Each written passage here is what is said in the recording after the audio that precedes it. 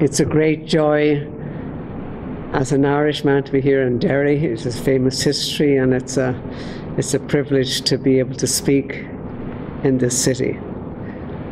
Uh, I want to begin with a, an overview of um, my own testimony, how I became a Roman Catholic priest, and I was a Catholic priest, a devout Catholic priest for 22 years, and uh, how I came to be a Catholic priest.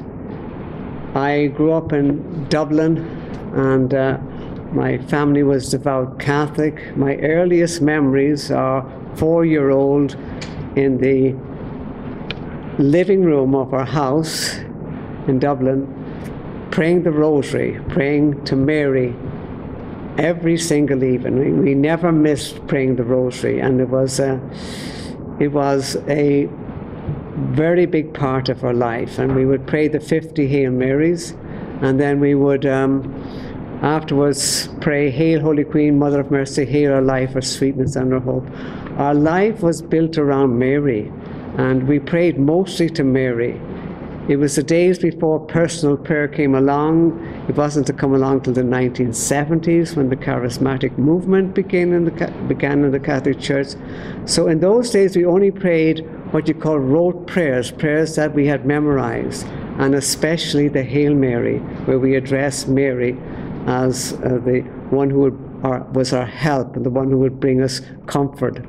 So it was Mary was the center of our prayers. If somebody was sick, you said three Hail Marys. It was like the formula was always praying to Mary. So that was my earliest memories was praying to Mary and the, in the rosary. And then I went to study with the Jesuits from primary school and, and uh, secondary school. So the Jesuits had me from all my education. And when I was seven years old, I could defend why we as Catholics had a living voice, we had an infallible Pope, and we didn't have a dead book. that was some of the sort of things we said, you know, because we had an infallible Pope, and our our whole faith was in, in the Catholic Church as such. So it was um, a very sincere, but it didn't bring you anywhere because we also pray to the saints. You know, we Saint Saint Jude if something was lost, Saint Dymphna if you're emotional upset, you prayed to Saint Dymphna, and uh, young ladies would pray to Saint Anne. The prayer was Saint Anne, Saint Anne, bring me a man. You know, that's, well, that's how we would joke about it, but they would pray more intently to to um, to Saint Anne. So we the saints for everything, and it was it was mixum something and it was it didn't really get anywhere, but that was our tradition. And uh, then I. When I was young, I was high flying in social life. I was a good tennis player, and I, I loved it. We had dances at the tennis club every Saturday. Oh man, I used to love those gals. And here am I as a young boy saying, which one will I marry? And maybe that gal there, you know. And, and uh, I was really enjoying life. And uh, I had my mind made up I was going to become a dentist so I'd get a good living and I was going to get married, and I had my eye on one particular girl eventually. And then something happened. Pope Pius XII, he was a very severe looking pope during the war years, and he came out with a encyclical, that's a letter to the whole church. And of course, as Catholics, we were meant to study what he said. I not only studied what he said, I memorized what I thought was most significant, and to this day I know it by heart. These are his exact words of what he wrote way back then. Great mystery this and source of unending contemplation that the salvation of many should depend on the prayers and sacrifices of the members of the mystical body of Christ offered for this intention.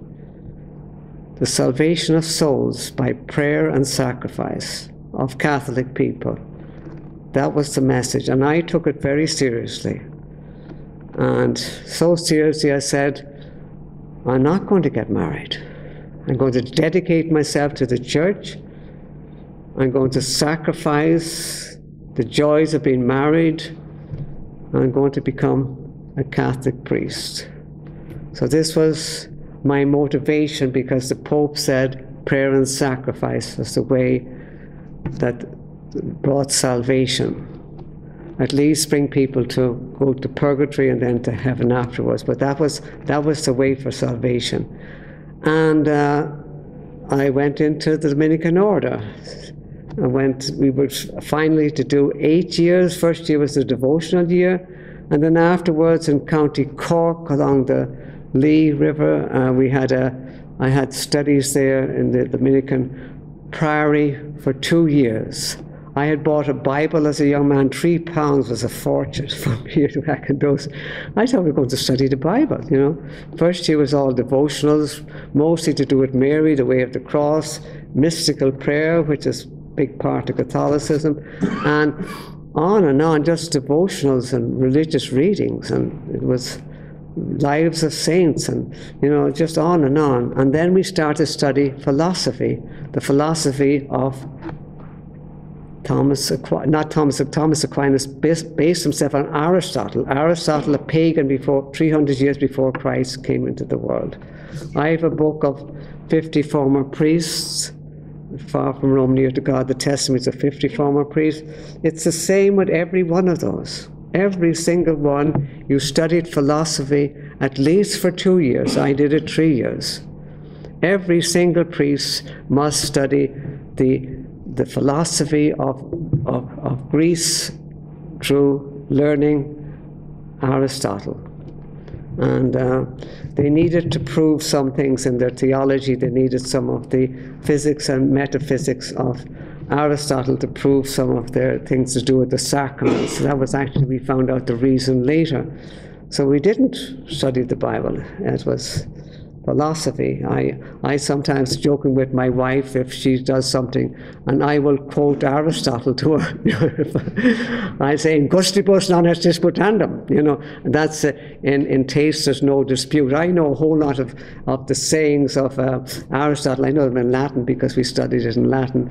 Uh, so you know, and she's not highly impressed when I quote, when I quote Aristotle's philosophy to her. But uh, we did. We learned it, and I I memorize it like people would memorize scripture. I still know a lot of it, and it uh, doesn't get you anywhere, but at least you know it shows when you memorize something as, as a young person, sometimes you remember it all through your life.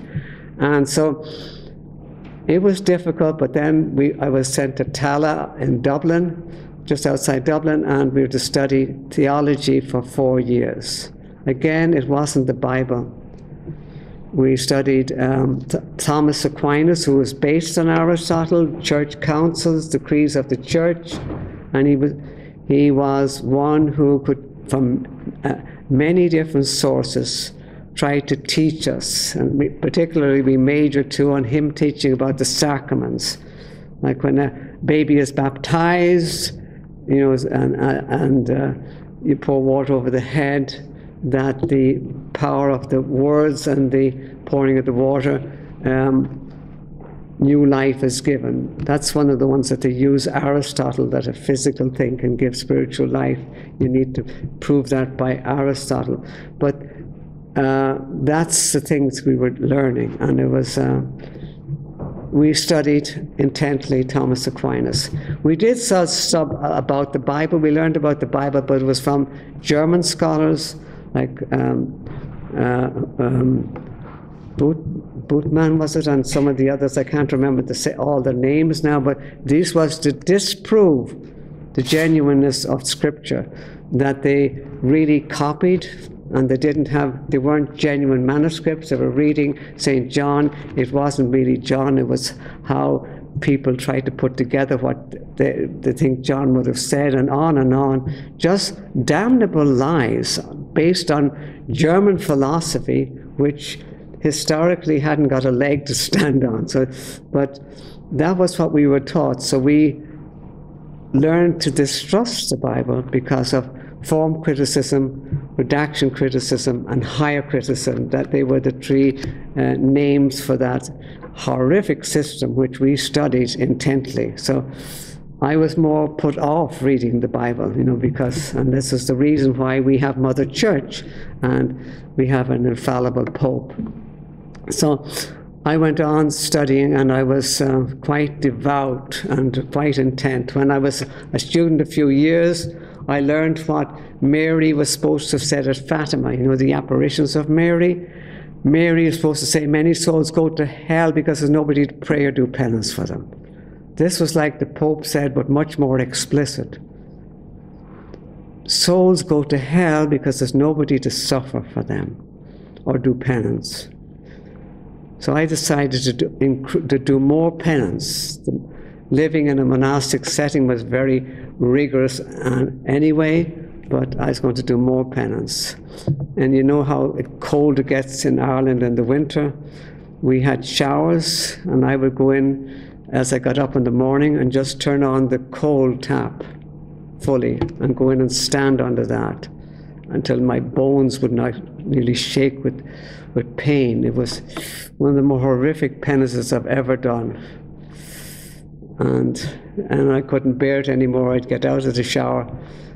And then later on, I would start walking with little pebbles in my shoes to feel pain when I walked.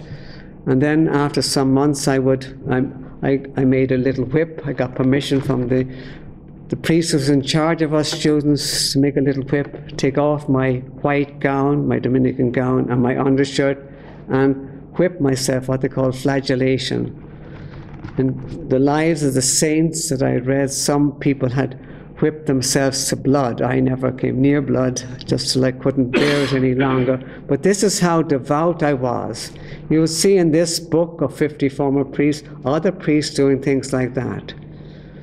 It was a Catholic teaching, not just like the Pope said it and the, and the apparitions, that, you know, when you suffer, you can help redeem people that they would come to salvation. Of course, that is utterly blasphemous. If you know the gospel, it's Christ when he by himself purged our sins. Christ alone sacrifices acceptable to God, and any human addition to it is is is an insult to Christ Jesus. But we didn't understand that, so it's really sad to see other priests like myself doing things like this.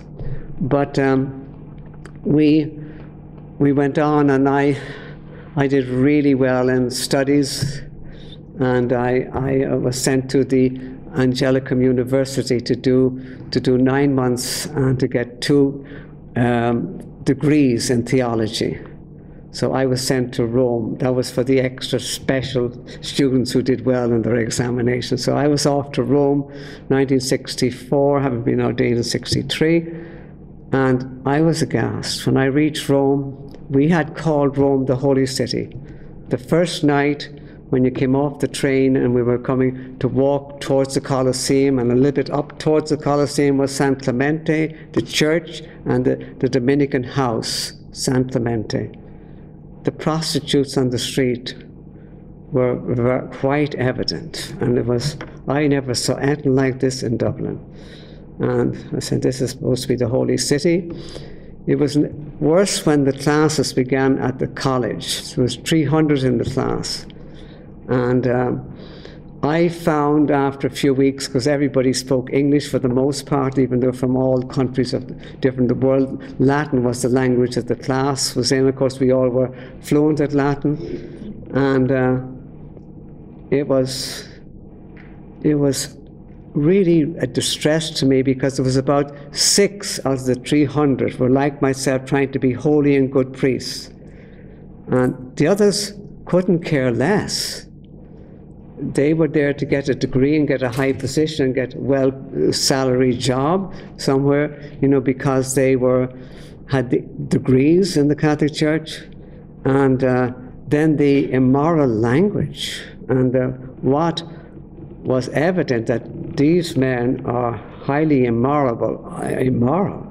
And I just stopped associating or talking to some of these because I was scandalized to see this is the holy city, and this is supposed to be the cream of the crop. You know, this is the, the best priests, you know, from over the, have qualified to come here to the best university in the world. The Jesuits said they had the best. We said, the Dominicans, we had the best, but one of the best universities. And it, it was just horrible. And I couldn't take it.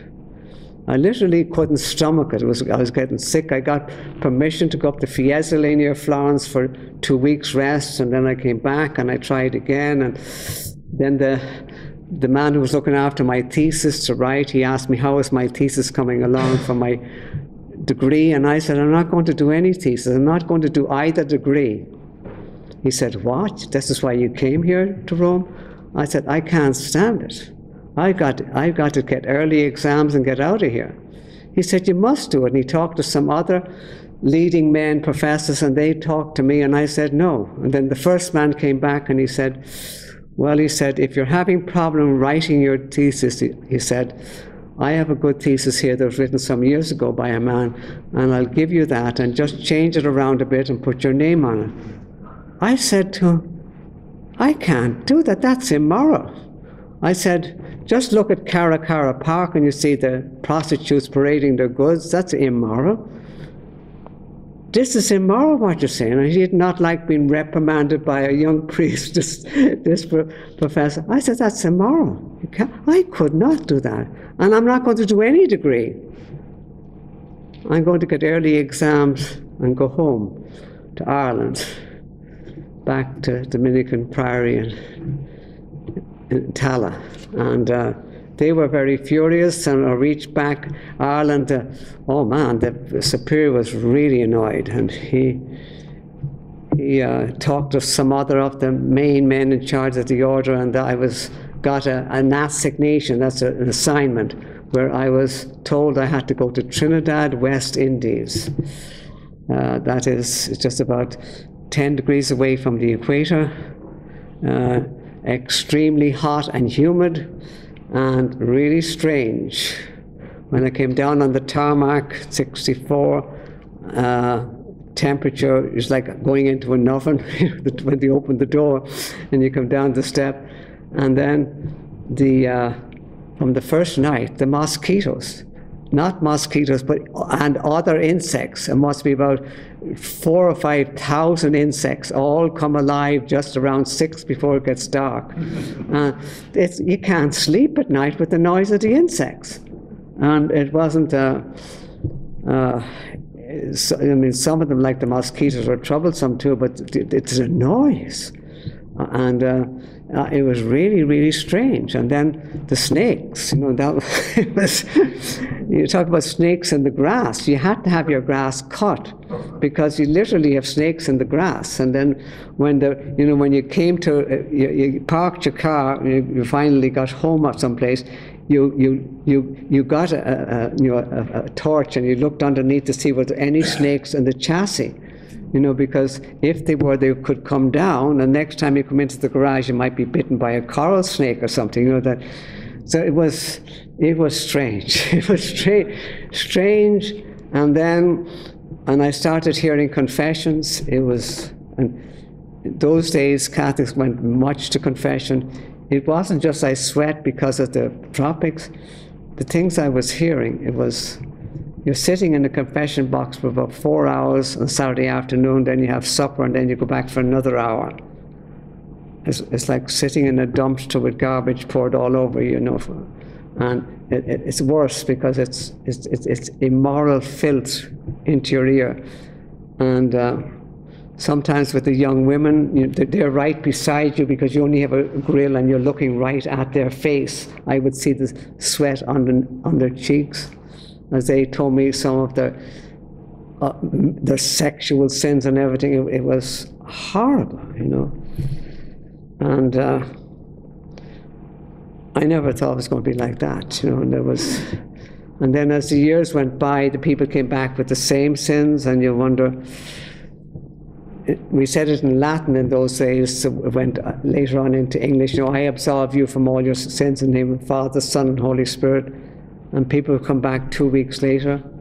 And some of the people you could see they were commit, confessing, committing adulteries so many times, and then you know they were going to come back next week with the same sin. They're still going to communion. You know what I mean? And you say, I mean, it, this is not like my Irish Catholicism. At least the Irish Catholics were, you know, trying to live the Catholic life, but these it, it was just really strange, and uh, it was very hard to keep going. And uh, I did, and I baptized babies and road accidents, and they they know nothing about driving, and they know speed limits, and, and it was there was full speed limits, but if the police stopped you, they were looking for a bribe, you know, so, so, uh, so that you could they wouldn't give you a ticket. But it was a it was strange island, and it was a.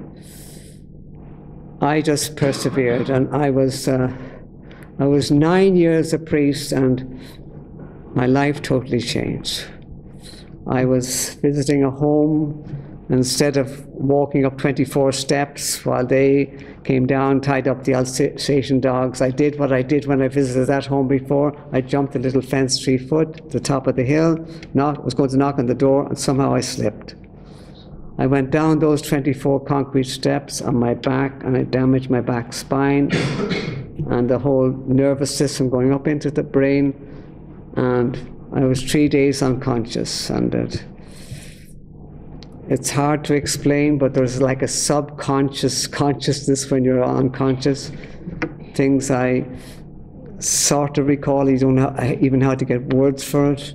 How how painful it was to know that you just have to let go and you're dead and you're somehow trying to hold on. And this is all on in your unconscious mind but it was i was very aware when i was unconscious. I don't know how to explain it but it was frightening. And when i came back to consciousness i was in a mess because the pain and a big turban around my head because of the the wound in the head. And uh, neuro, neurosurgeon examined me with x-rays and he said that I had really I done colossal damage uh, to my whole emotional system because the, the, the nervous system goes right up the back spine into the head into the brain. It's all connected. And he said I had the it was um, it would be about two it would be about two years before I was normal again. not a nice report from a neurosurgeon, but at least I knew I was going to be normal again. So it was. I was in a sanatorium there for about three months, and uh, but in the time in the sanatorium, when I was really, really conscious of what had happened, I wondered if I died, where would have gone. I knew I was a sinner. I knew I did sacraments, but I knew I wasn't right with God. And if I had died, I would have gone to hell. And I was frightened, really frightened when you come so close to death. So I began studying the Bible. And the Lord had me read St. John's Gospel, and then the first letter of John, then Isaiah 53, because I knew that was something about why Christ was going to die, then prophecy. And then I started reading Paul's letters, and I got stuck, as it were, it was the grace of God. I got stuck in Ephesians chapter 1 and 2. I kept reading them sometimes 20 times a day. I'd read Ephesians chapter 1 and 2. And it started to, it was just utter revelation to me. It was, first of all, it, it I had always taught Catholics it's like, uh, you know, uh, salvation is in, in, the, in the human heart. You're justified at baptism. You're made inwardly just, and it's in, in you, in the human soul, in the human heart. I taught it to the children of catechism. It was always salvation. It's like, you know, you, and then you get you get you get sacramental grace through the sacraments, like going to a, uh, to get your uh, petrol in your car, you know, you get filled up and it's in you. And it was, that was the standard teaching I saw in Ephesians 1. Paul explains the gospel and then he says, accepted in the beloved.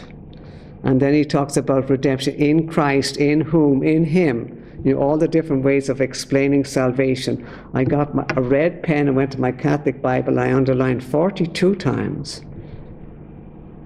in those two chapters, salvation is in Christ. Utter revelation to me. Then it was Paul's own testimony in Philippians you know, that may be found in him not having my own righteousness. It was what John said, I went back to read John's gospel, everlasting life, you know. He who has the Son has life. And when we're in the, you know, who does not have the Son does not have life. It's, it's, everlasting life is in the Son. It's in Christ. And on and on. It was the same in Peter's uh, letter. The righteousness of God in Christ. It was all in Christ. And this was utter, utter contrast. And I went on studying and I studied grace, what grace was. I knew that exact definitions of grace is the sacraments of the new covenant are necessary for salvation, still official Catholic teaching to this day. I knew that. And then we would name the seven sacraments. That's how you get grace. And uh, then I read Ephesians 2 8 and 9. Well, by, by grace are you saved through faith, and that not of yourselves, it is the gift of God, not of works. Works was the word we used in our official declaration of what the sacraments were. We said that they worked ex opere operato, that is, they worked absolutely for certain. From the work worked, that's the way you translate those Latin words, ex opere operato. And we define them as works. And the Bible says not of works. And this was causing my stomach now to be upset. And it, see, this is my job. This is who I am. How can how can I continue to search? And it was it was difficult. And the climax came actually. It was after some months. I stopped and then went back to it again. It was faith, and the scripture was clear. Paul to uh, in, in to the jailkeeper believe on the Lord Jesus Christ. The object was Christ.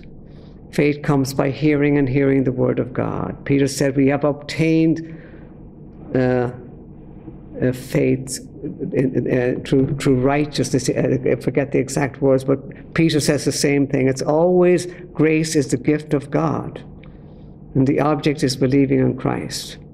And that became clear to me. It's interesting to see other priests come to the same conclusion in their testimonies in this book. But uh, there's hardly a testimony that, that those verses didn't impact Ephesians 2 8 and 9. And, and faith. I, I, I saw then it, it, grace is what it says, and I came to study faith. The Catholic Church is emphatic that we believe on the church. It says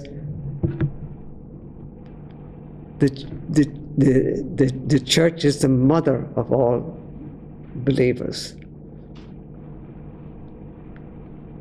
The, it, believing is an ecclesial act. The church's faith precedes, engenders, and nourishes our faith. No one can have God as Father who does not have the church as Mother.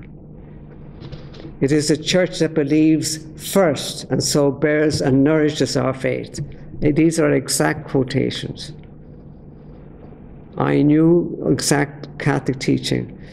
We believe on the church. She is the one who gives us faith, and she's the one who instructs us and gives us the sacraments.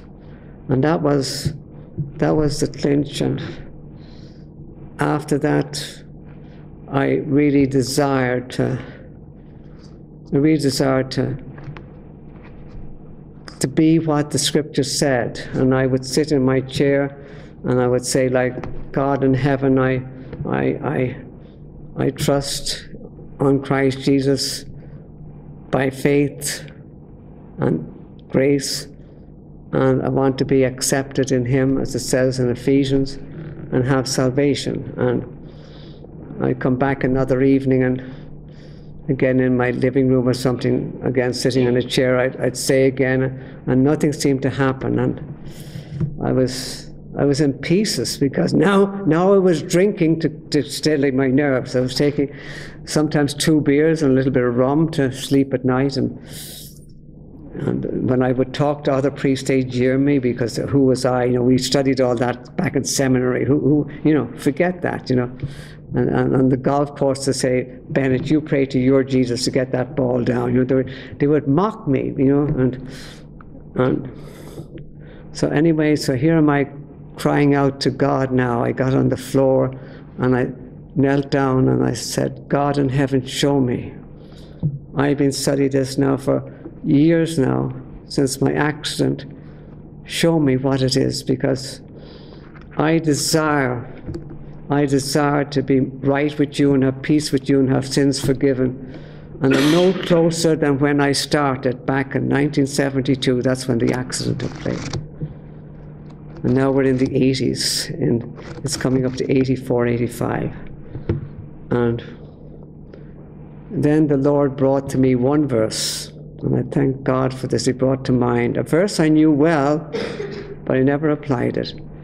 He said, You being dead in trespass and sins. Ephesians chapter 2, verse 1.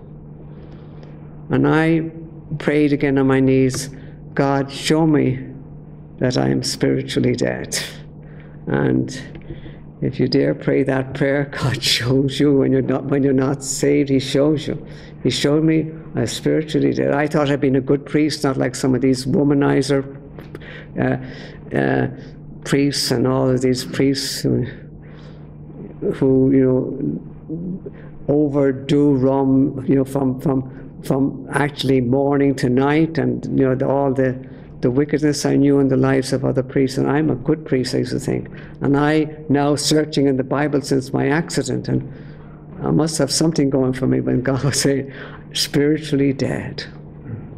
And then I realized I'm spiritually dead. And so another evening I got on the floor and I knelt down and I said, God in heaven, I'm spiritually dead. Give me the gift of faith. Give me the gift of faith and energize it and make it alive by the grace which you empower it, so that I would know salvation in Christ and have my sins forgiven and have peace with you. And then I knelt there for about five, ten minutes the Spirit of God was coming over me, and I put my hands to heaven. I said, Father in heaven, I thank you that I believe in Christ alone trust Him alone by the grace that He gives. My sins are forgiven. I have peace with you, and I have everlasting life. I praise and I thank you, Father in heaven, for the gift of salvation. And then I got down on the floor and I cried for about 15 minutes. And it was then that any addiction I was beginning to get to drink was gone. And then next Sunday, I was telling people not to, don't come to me for confession. It says in First John, if anyone sins, God is faithful and just to forgive sins. I was quoting, I said, don't come to me. For, and people were phoning the Archbishop. And, and the following Sunday, I was trying to explain what happened to me to the people that maybe you should just look to God and ask Him to show you that you really are spiritually dead, and then look to Him for praise to grace. I was trying to explain to them what had happened to me, and that didn't go well. And I was called to the Archbishop's house, and when he heard the reports of what I preached, and I was told I had to leave the parish, and I was not going to. I had a little while to get out, but had to leave, and I was never to, never to. I knew better. I was never to preach like I had preached, and so it was. Um, it was then that I cried out to God when I saw that I could not continue, that he, he'd give me a love for Catholics that I could give what I found to precious Catholic people. And I cried out, and he, so you know, you sense that God is assuring you that this will be. And by God's grace, I got to, I, I was able to leave Trinidad, go to Barbados, then to Canada, Canada, come across with a Greyhound bus into the States, and. Uh, with two bags the rest of my life and $350 in traveler's checks. but God has looked after me, and by God's grace, now 27 years since all of this, I have a mission reaching out to Catholics in love, and I do see precious Catholic people coming to others. And I do see evangelicals who I call evangelis, a lot of them, because they're not evangelical. Uh, they, you know, they, they denying the grace, it's making it look like, you know, just come forward, sign the card, make your decision, you know, and we'll, we'll certify the Billy Graham type. If you go on the Billy Graham uh, uh, web page or Campus Crusade, you know, all you got to do is this and this and this. And uh, Luis Palau sort of thing, invite Christ into your heart. That message was to the was to Christians in Laodicea. It's not it's not a gospel message. And you know, and, and all, all these things, and I really get ministering to false evangelicals, and that's a great a great because there's nowhere for Catholics, you've got to warn them of what's out there. they have to know a, a, a Doctrines of Grace church. They have to know where the gospel is truly preached, as the church that has put on this meeting tonight. You know, that, that, that's, they have to know that. So, so I thank God for that. So that's a little overview. Uh, have anybody any questions or uh, anything you want to ask? Um, because I really want to get into Patrick.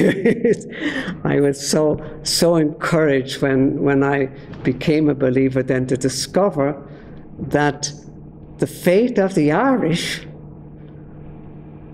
for 700 years after Patrick had preached the true gospel here for 700 years was biblical and nothing like Catholic or anything with rituals in it. Nothing like it. Absolutely biblical. And that Patrick had written many things, a testimony, a letter to Coroticus, and you can get many little booklets like this uh, on, on his, his life story and his letter to Coroticus, translated from Latin. You can get it so easy on the internet. Uh, the testimony of Patrick and the letter to Coroticus, the two authentic manuscripts. And we're sure that they are authentic. You know, there's different places that have saved, you know, uh, copies of ancient records where we had them from. We're sure it's from the, it was written by Patrick himself. So I really want to get to that. But if there's any questions, we take the questions. Yes? A big one, what? Only a young boy of 17. I was 18 when I, when I went in. Yes, I was. A, and it, it's sad that that's the case in this book. You find most of the priests went in early, and and they come out late. They usually come out in the 40s. It's really sad that when the Lord does wake up the men in this book, this is I know more since this book was published in 1994. Which this is a third edition. Uh, I know many more priests who are saved, but it's sad that they they come out later in life, and they used to come out in their mid to late 40s or 50s. And it's sad that when they get married afterwards, that they, there's very few have children because they would get married too late. You know, but it, it's um, it's it's that is consistent. It was going in early, and usually uh, then having really coming to see the message of salvation later in life? Good question. But that's the way it was with me and with most of the priests in this book. So, uh, anything else, or I'll go on to Patrick then. Um,